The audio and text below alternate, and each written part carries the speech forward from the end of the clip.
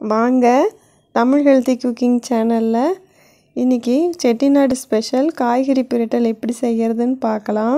இந்த காய்கறி பிரட்டலை வந்து சப்பாத்திக்கு சாதத்துக்கு தோசைக்கு எல்லாத்தோடையும் சாப்பிட்லாம்.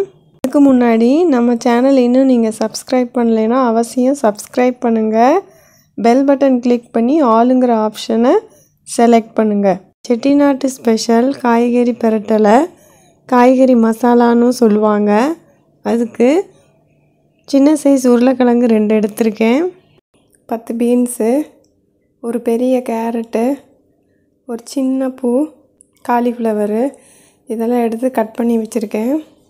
இதை தவிர ஒரு பத்து சின்ன வெங்காயம் ரெண்டு தக்காளி கொஞ்சோண்டு கொத்தமல்லி தலை இந்த மசாலா அரைக்கிறதுக்கு ஒரு அரை மூடிக்கு கம்மியாக தேங்காய் வெட்டி வச்சுருக்கேன். ஒரே ஒரு டீஸ்பூன் பொட்டுக்கடலை. பொட்டுக்கடலை நிறையா போடக்கூடாது நல்லா இருக்காது.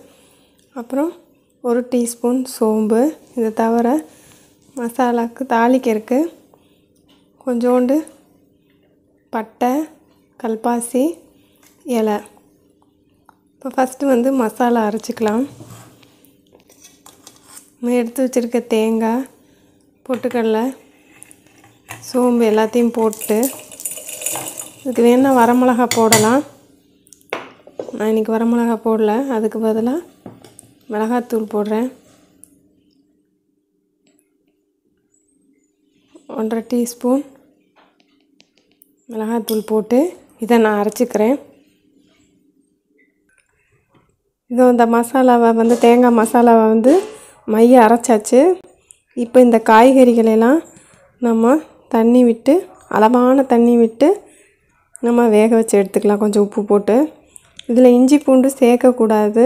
இதுதான் ஸ்பெஷாலிட்டி என்னென்னா செட்டிநாட்டில் வந்து நிறையா மசாலா போடாமையே டேஸ்ட்டான டிஷ்ஷஸ் ப்ரிப்பேர் பண்ணுவாங்க. வாங்க ஃபஸ்ட்டு இதை வேக வச்சு எடுத்துக்கலாம். ஒரு பாத்திரத்தில் தண்ணி வச்சு அளவான தண்ணி வச்சு அதில் உப்பு போட்டு நம்ம காயை வேக வச்சுக்கலாம்.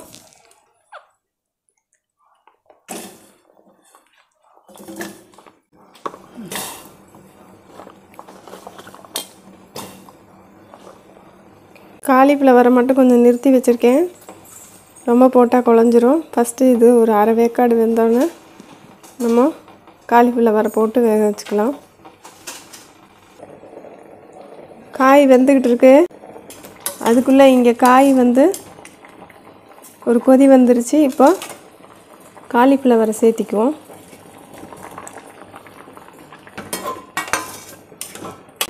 இன்னொரு அடுப்பில் ஒரு கடாய் வச்சு அதில் கொஞ்சம் எண்ணெய் விட்டுருக்கு. எண்ணெய் காஞ்சிருச்சு. இப்போ அரை டீஸ்பூன் சோம்பு பட்டை இலை கல்பாசி எல்லாத்தையும் போட்டு தாளிச்சிக்கலாம். நல்லா கொஞ்சம் ஸ்மெல் வரணும். காய் இந்த பக்கம் வெந்துருச்சு. முக்கால் பதம் தான் வேக வச்சுருக்கு. ஆஃப் பண்ணி எடுத்துக்கலாம்.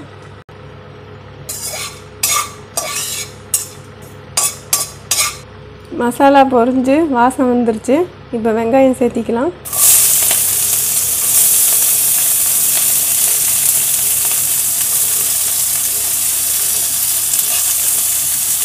தக்காளியும் சேர்த்துக்கலாம்.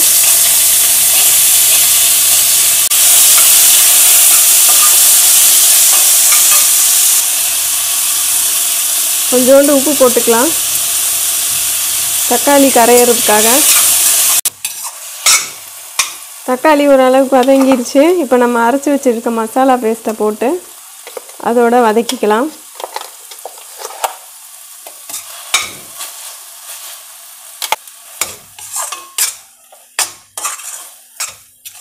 மசாலாவை நல்லா வதக்கிக்கலாம்.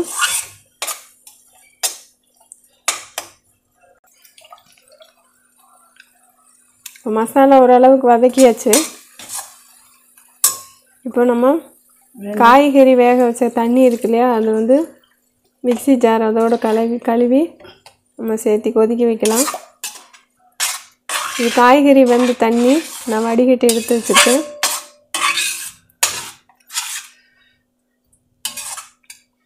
இது நல்லா கொஞ்சம் பச்சை வாடை போகிற கொதிக்கட்டும். இதுலேருந்து எண்ணெயும் பிரிஞ்சு வரும். உப்பெல்லாம் வேணும்னா இந்த ஸ்டேஜில் போட்டுக்கோங்க. ஆல்ரெடி காயிலையும் கொஞ்சம் உப்பு போட்டிருக்கு. மசாலா ரெடி ஆயிடுச்சு. அதிகப்படியான தண்ணியெல்லாம் கம்மியாகி ஒரு சேர்ந்த மாதிரி வந்துருச்சு. இப்போ இதில் வேக வச்சு எடுத்துருக்க காயை நம்ம சேர்த்து பரட்டிக்கலாம்.